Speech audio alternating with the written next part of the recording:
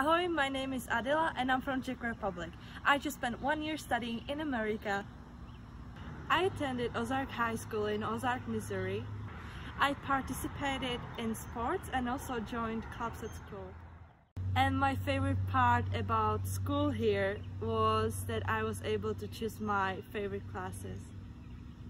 My favorite classes at school were sociology and forensic science. I attended my first American baseball game and football game and also watched uh, Kansas City Chiefs win the Super Bowl. I was able to go to Disney World and Universal Studios in Florida.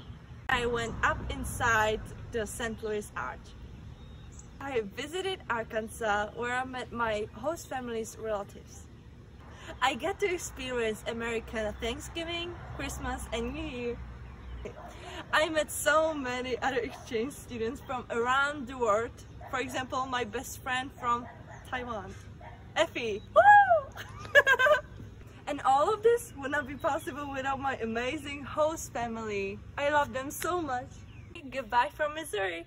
Ahoy!